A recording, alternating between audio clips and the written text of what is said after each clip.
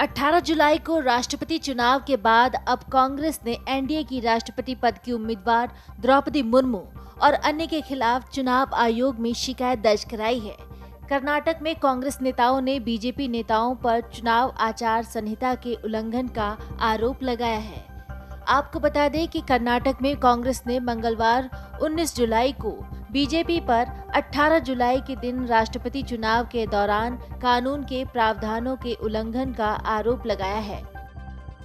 कांग्रेस की ओर से शिकायत, एनडीए उम्मीदवार द्रौपदी मुर्मू, सीएम बसवराज बोम्मई, बीजेपी प्रदेश अध्यक्ष नालिन कुमार, पूर्व CM B S Yediyurappa Satish Reddy और अन्य मंत्रियों के खिलाफ कराई गई है।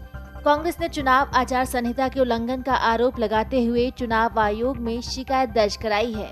कांग्रेस ने आरोप लगाया है कि कर्नाटक में सत्तारूढ़ बीजेपी ने 17 और 18 जुलाई को मतदाताओं को रिश्वत और अन्य प्रलोभन देकर अपने पक्ष में वोट लेने की कोशिश की है।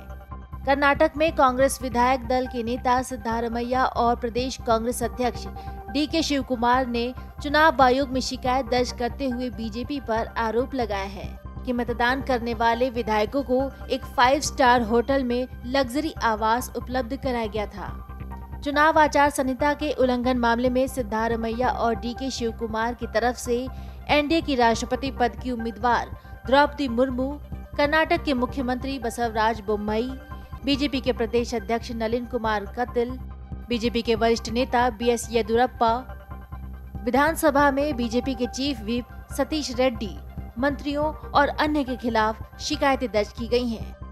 कांग्रेस नेताओं ने शिकायत में कहा है कि राष्ट्रपति चुनाव में विधायकों को मतदान के लिए प्रशिक्षण देने के बहाने फाइव स्टार होटल में रुकवाया गया, जहाँ विधायकों को आलिशान कमरे, भोजन, शराब और मनोरंजन की दूसरी चीज़ें मुहैया कराकर एनडीए की राष्ट्रपति पद की उम्मीदवार द्रौपदी मुर्मू के पक्ष में वोट करने के लिए अनुचित प्रभाव डाला गया, जिसे कांग्रेस ने चुनाव आचार संहिता का उल्लंघन बताया है।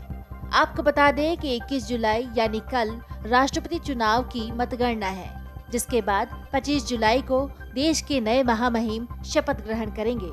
लेकिन उससे पहले कांग्रेस भी बीजेपी के खिलाफ एड़ी चोटी की ज़ोर लगाने में जुटी हुई है। Video desk Amar Ujala dot com. Download करें अमर उजाला ऐप और पाएँ खबरें लगातार। अगर आप ये वीडियो YouTube पर देख रहे हैं तो हमारे चैनल को सब्सक्राइब करें और बेल आइकन को दबाना ना भूलें। अगर आप Facebook पर यह वीडियो देख रहे हैं तो हमारे पेज को लाइक करें।